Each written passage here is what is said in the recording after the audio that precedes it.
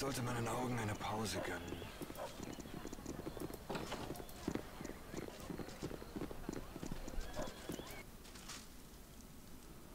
Und da wären wir. Gucken wir mal, ob unsere Rüstung fertig ist. Ich bin noch nicht fertig. Es kann auch ein bis zwei Tage dauern. Äh, na gut. Das kann weg. Ah, den Ring kann man nicht verkaufen. Kauft nur Edelsteine und keinen Schmuck. Na gut, Bastardschwert weg, Speer weg, Flegel weg, Kettenhemd weg. 20.000 Goldmünzen. Und du hast nix. Wurfpfeile benutze ich nicht. Den Dolch brauchen wir auch nicht. Alles weg. Hm, der Stein aus dem Brunnen. 75 Goldmünzen. Hätte das irgendein normaler Bürger rausgeholt, äh, hätte er davon ein paar Wochen leben können. So, die Smaragde. Ah. Na gut, ich verkaufe die jetzt. So, hast du noch was, was wir gebrauchen könnten? Eine Schnellschussarmbrust. ETW 0 plus 1 nur. Unsere hat ja plus 5. Dafür drei Angriffe pro Runde. Naja, aber ich habe, die benutzen beide ein Schild. Das heißt, die können die Armbrust nicht benutzen. Wenn ich noch ein, zwei gute Zweihandwaffen finde, dann könnten wir uns die auch noch holen. Aber bis dahin lohnt sie nicht. So, und sonst... Ah ja, ganz normale Pfeile für Immun. Obwohl, Pfeile plus zwei kosten gar nichts. Ja, kaufen wir dir mal ein paar ordentliche Pfeile. Und genauso auch für Düner hier und Shahira ordentliche Steine. Dass man da nicht immer so drauf achten muss. So. 150 sollen erstmal reichen. Und Kugeln plus 1 nur. Na gut. Äh, ja, also ich kaufe erstmal eine ganze Weile Steine ein. Und danach, nein, keine Lederrüstung. Und danach mache ich mich auf zur hohen Hecke, um wieder die Schmuckstücke und die Tränke und so weiter verkaufen zu können. Und nachdem ich das gemacht habe, melde ich mich wieder. Bis dahin überlege ich mir, mir auch, ähm, wie genau ich mit dem Let's Play jetzt weiter fortfahre. Also ob ich jetzt das Addon schon anfange oder nicht. Also gut, bis dann.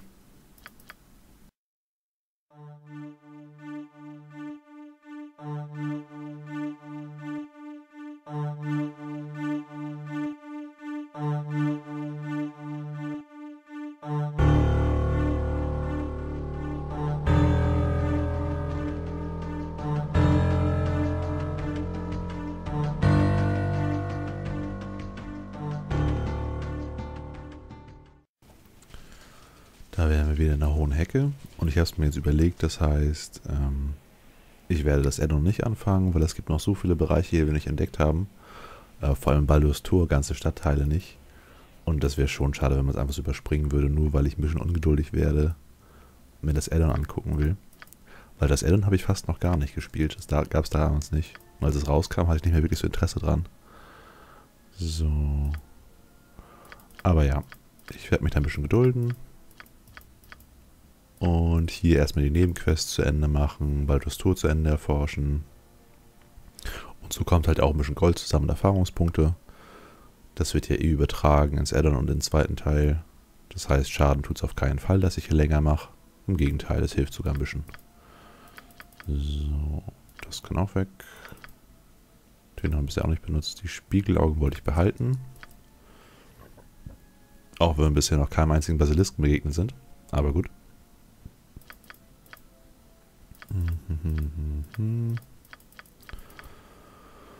Unauffindbarkeit, nö, das kann auch weg.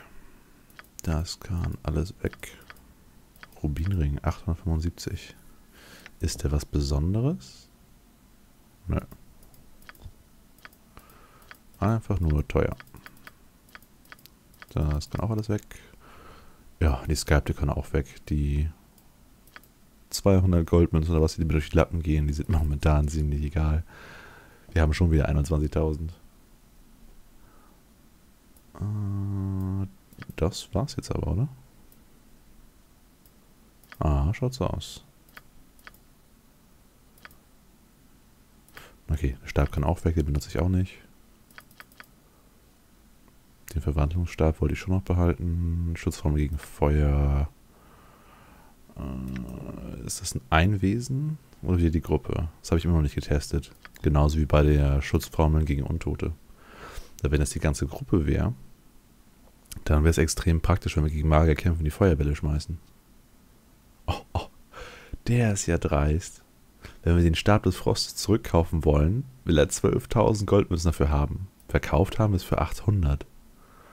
Das ist eine nette Gewinnspanne. So, hat er noch irgendwas? Das sind alles Sachen, die wir verkauft hatten. So, hier sind lauter Sachen, die ich nicht mochte. Schädelfalle. Mm, mm, mm, Fügt einem Umkreis 9, von 9 Metern Schaden zu. Der Schaden entspricht 1 bis 6 pro Stufe. Also genau wie Feuerball. Ja, und kann genauso die eigenen Gruppenmitglieder vernichten, äh, verletzen. Macht für mich also nicht so viel Sinn.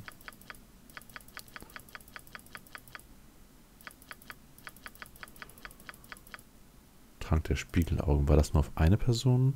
Wer diesen Trank einnimmt, ist vor allen Arten der Versteinerung geschützt. Hm. Na gut, aber solange einer das trinkt und der vorläuft und die Basilisken ihn angreifen, dann reicht das ja auch. Oh, noch ein paar Kugeln plus 1, die nehmen wir mal mit. Die anderen haben wir fast aufgekauft, wenn ich mich richtig erinnere. Und dann schauen wir uns weiter in Baldur's Tor um. Ähm, ja, machen wir mal. Die Rüstung hier braucht ja wohl noch eine ganze Weile. Und das ewige Hin- und Herreisen zwischen Baldur's Tor und Beregost dauert lang genug. So. Bye bye, Fleischgolems. So, da geht's raus. Flint. Was? Oh. Knolle mit dem Namen. Viele Knolle mit demselben Namen. Das kann irgendwie nicht stimmen. Aber die können nichts.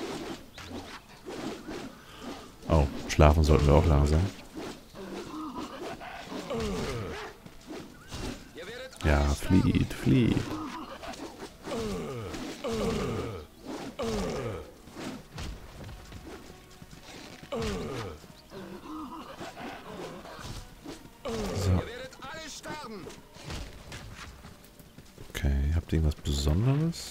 Weil solche Gnolle habe ich noch nicht gesehen hier in der Gegend. Oder ich hatte einfach noch viel Glück. Hm. Unsichtbarkeitstrank, das ist mal praktisch.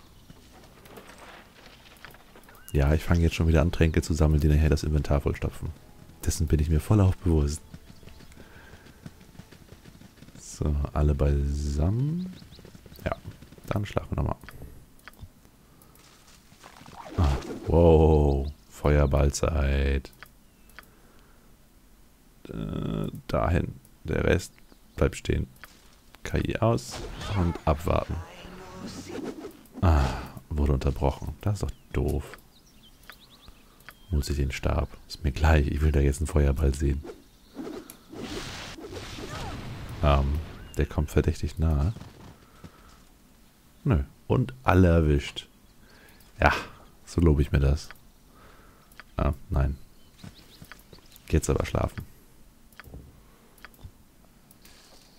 Na. Denkbar ungünstiger Ort zum Schlafen gehen. Hm? Achso, KI sollte man wieder einschalten.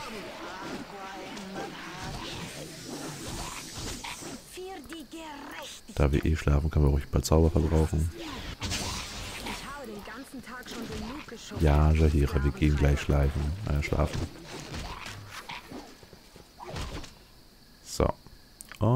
Dritter Versuch. Nein, natürlich nicht. Nochmal Untote. Ah. So. Ah. Was hat er noch bekommen? Festhalten und krank. Ah.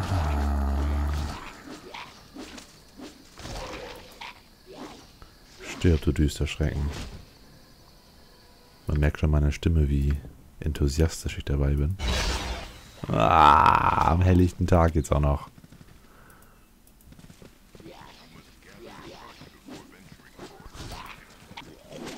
So, ein Versuch hier nach noch. Und wenn es dann nicht klappt, dann reise ich ganz bis nach Baldur's Tor, egal wie viele Jungen rumjammern, und suche mir dann ein Gasthaus. Das geht langsam echt nicht mehr an. So, schlafen. Ah, habt ihr es diesmal geschafft, eine Wache aufzustellen. Super. So, und wir gehen nach Baldur's Tor. Also hier war der Eingangsbereich mit dem Magierladen und einer Taverne, glaube ich. Hier flammende Faust, Eisenthron, sieben Sonnen. Hier war der Tempel der Amberly und ich glaube das, äh, das Haus von Rage Fast, dem mächtigen Magier, der seine Macht dazu benutzt, eine halbnackte Nymphe zu beschwören was wohl in irgendeiner Form illegal ist. Und da wurden wir gebeten, mal nachzuschauen. Ja, das können wir doch mal machen. Wenn ich jetzt im richtigen Gebiet gelandet bin. Ja, sieht nicht so aus. Und sie sind schon wieder müde. Na okay, sie sind auch ein Tag und vier Stunden gereist. Das ist irgendwie dann nachvollziehbar. Hm? So, hier haben wir einen Kai. Aber wo war das Haus dann? Ich war mir ziemlich sicher, dass es hier ist. Ah, und unterwegs können wir noch schön die Augen aufhalten nach dem kleinen Jungen. Wenn ein kleiner Junge wirklich äh, akkurat ist. Es kann ja auch sein, dass sie einfach nur ihren Sohn kleinen Jungen nennt und dabei ist es ein 30-jähriger Riese.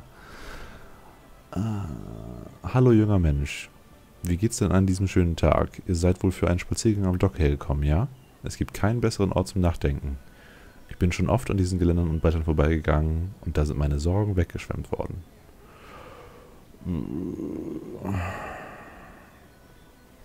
Interessiert uns eigentlich nicht wirklich.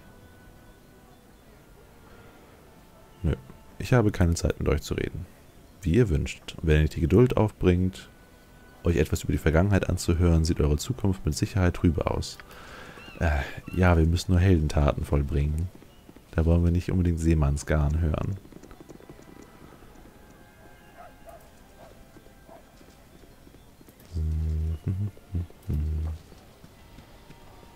Ja, dann schauen wir noch mal ins nächste Gebiet. Es war auf jeden Fall im Süden der Stadt, oder? Naja, so viele Gebiete haben wir noch nicht aufgedeckt. Also hier war es mit 50%iger Sicherheit nicht. Äh, da waren nur diese beiden Dinger da. Also der Tempel und das Museum. Gucken wir mal in die Mitte. Das Haus, wo man abstürzt. Das Anwesen von Oberon. Nee, hier war Rage Fast auch nicht.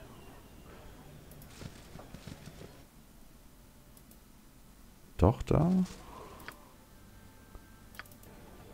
Ja. Ja, Haus von Ragefast. Gut, gut. Mal schauen, ob wir da jetzt einbrechen müssen, um was Gutes zu tun. Oder für so reinkommen. Ich glaube, das war nämlich abgeschlossen. Das heißt, wir brechen jetzt einfach in das Haus eines mächtigen Magiers ein. Nur, weil eine Frau eifersüchtig war. Hm. Obwohl, sind Wassernymphen wirklich immer von Grund auf böse? Wenn ja, hätten wir einen Grund reinzugehen, weil dann darf er sie nicht haben.